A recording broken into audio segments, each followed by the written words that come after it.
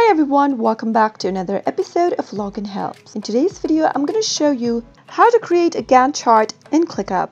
Watch the video till the end without skipping and don't forget to subscribe to our channel by hitting the subscribe button. Press the bell icon so that YouTube will notify you whenever we post a new video. Start by clicking open your web browser and sign into your ClickUp account. Once you're in, in order to add a Gantt view, select any space, list or folder and click on the plus view button at the top of the screen. Now, select Gantt from the list below. Mark it as a personal view or not. You can also choose to pin the view for quick access. Now, click on Add View. Now, as soon as you do that, hover over to the level which you wish to expand to reveal the icon to the left of the item. Clicking that icon will expand or collapse all levels underneath down to task or subtask. If a task or subtask is not displayed, it's likely unscheduled. Done or completed task shows on the Gantt view by default. You can hide any status using filters. That is how you can add a Gantt chart on ClickUp. I hope you found the video to be helpful. If you did, go ahead and give it a thumbs up, comment down in the comment box if you have a question or a feedback for us. I'll soon be back with more tutorial episodes. Goodbye till then.